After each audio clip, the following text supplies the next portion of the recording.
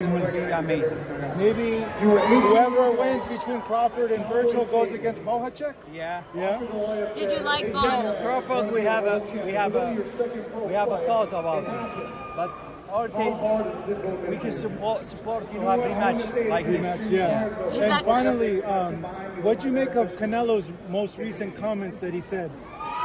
I said before, and this is my opinion. Yeah. I don't start talking about these things. He start and he said he respect me, and and but he doesn't like what we are doing in boxing. That's why I uh, I said what I said, Yeah. and I mean it.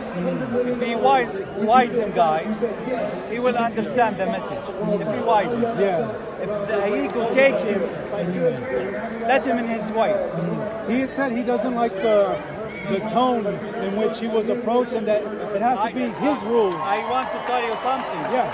I don't I don't go inside the tones between the promoters and himself. Yeah. If the promoter deal with him without respect, this is something between him and the promoter, mm. not me. Mm, yeah. He responds and me. Mm. That's why he gets the answer.